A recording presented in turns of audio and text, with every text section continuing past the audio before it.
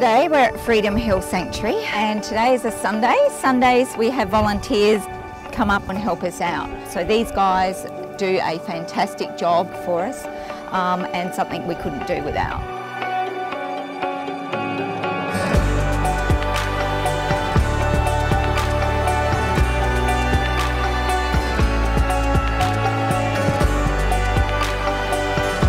Volunteers that come up here, uh, they've never had the hands-on experience with farm animals and to be able to pat a big cow and cuddle the sheep and, and pat the pig's belly is something that's rewarding for them.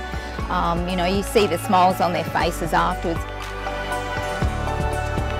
My husband and I have been volunteering here for almost two years and I just love that every Sunday we can come up and spend time with animals. It's just, it's just the perfect place.